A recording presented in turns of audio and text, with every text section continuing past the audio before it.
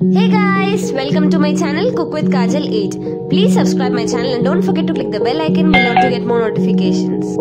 Today we'll be making gulgule which is sweet pakodi. It is a simple recipe made with just 4 ingredients.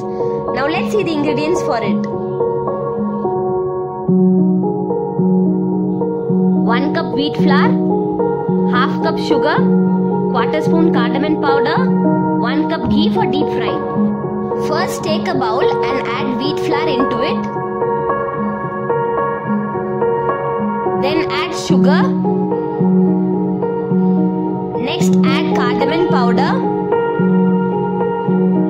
Add 3 spoons of ghee into it.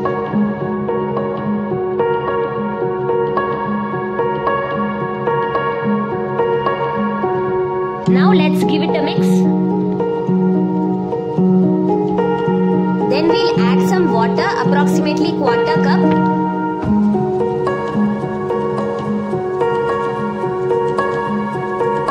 It should be this consistency. It should not be watery. Next take a kadai and add ghee into it.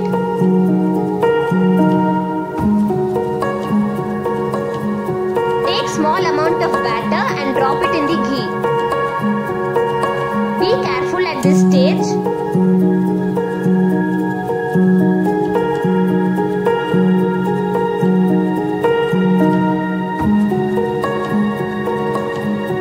Fry them until they become golden color.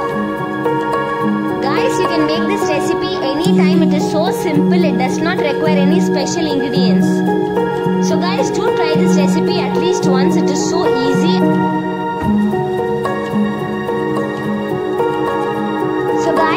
Gulgule is ready now. I hope you all enjoyed it. Do try and let me know your experience in the comment section. If you liked my recipe, don't forget to hit the like button. And do follow me on my Instagram page at Cook with